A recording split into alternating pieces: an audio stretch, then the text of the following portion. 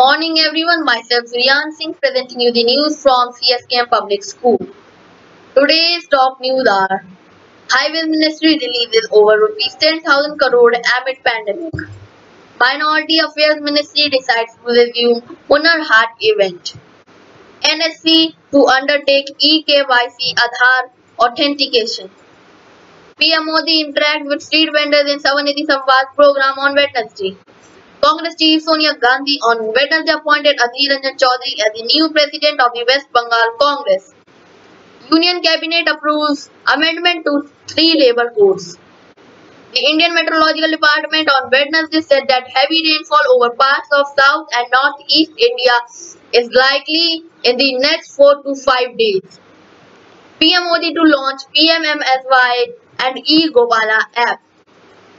CM of Andhra Pradesh YSR Jagan Mohan Reddy has launched YSR Sampurna Poshana scheme. A formal induction ceremony of the five high-profile Rafale fighter aircraft into the Indian Air Force 70 Squadron, the Golden Arrows, will be held at the Ambala Air Base in Haryana on Thursday.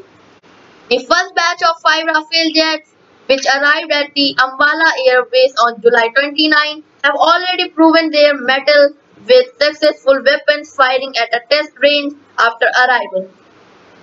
Bombay HC calls BMC action on Kangana Ranaut's property Malafide order accessed. The Brihanmumbai Municipal Corporation BMC has exempted Bollywood actor Kangana Ranaut from the 14-day home quarantine. Now let's move on to the COVID-19 cases in India. Total cases of COVID-19 in India are 43,70,128. Total active cases in India are 8,97,394. People who recovered from COVID-19 in India are 33,98,844. Total deaths from COVID-19 in India are 73,890. So let's move on to international news.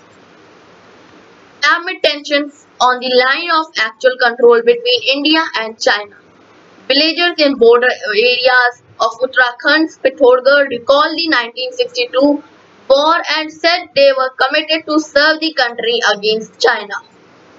In a first in 45 years shots fired along LAC. Both Indian Army and the Chinese troops blame each other for the recent firing of a few rounds in the air along the line of actual control in Ladakh. This is the first instance since 1975 when PLA ambushed an Assam Rifles patrol in Tulungla in Arunachal Pradesh and shot four soldiers dead.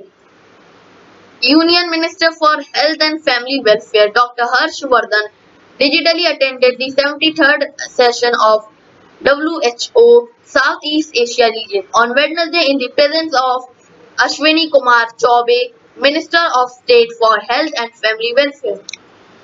The 73rd session is being hosted by the government of Thailand from Bangkok while the previous session was held in New Delhi. The first India-France Australia trilateral dialogue was held virtually on. The meeting was co-chaired by Harshvardhan Shringla, Foreign Secretary of India Francois Delattre, Secretary General French Ministry for Europe and Foreign Affairs and Frances Adamson, Secretary Australian Department of Foreign Affairs and Trade.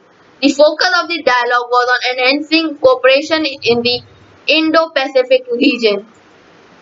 External Affairs Minister S. Jaishankar held talks with his counterparts from Kyrgyzstan and Tajikistan at the sidelines of the Shanghai Cooperation Organization.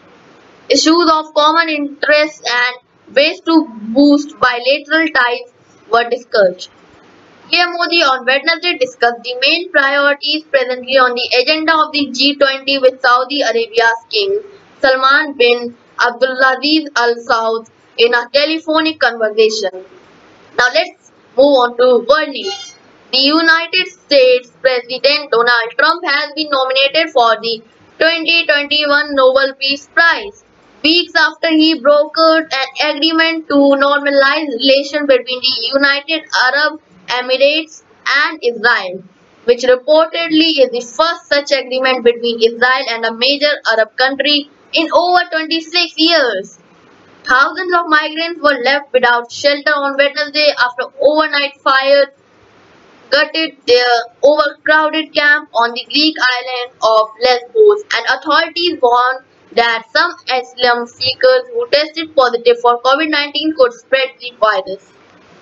US President Donald Trump attacked Democratic Vice President nominee Kamala Harris saying that she is not well liked and that it would be an insult to the US if she becomes the president.